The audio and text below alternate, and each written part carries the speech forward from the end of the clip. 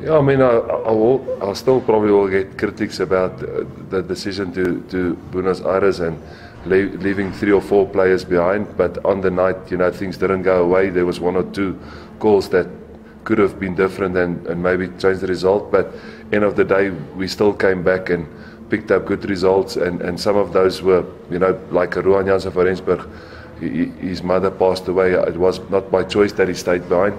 But regardless of what happened last year or this year, you know, we, we had a plan before the season started. We looked at the draw. We knew what we need to do. And, um, and yeah, we one game away from either first or second, you know, and hopefully um, whatever the result is, we know we're in the playoffs.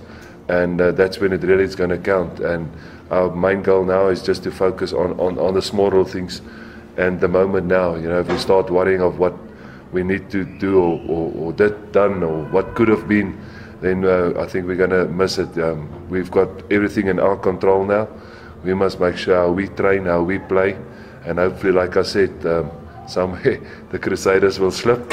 Um, even if it's not in the last game, it's somewhere in the playoffs, and, and we can pack the stadium and, and get a game here. But like I said now to them, it's a lot of hard work still left before we can dream about that.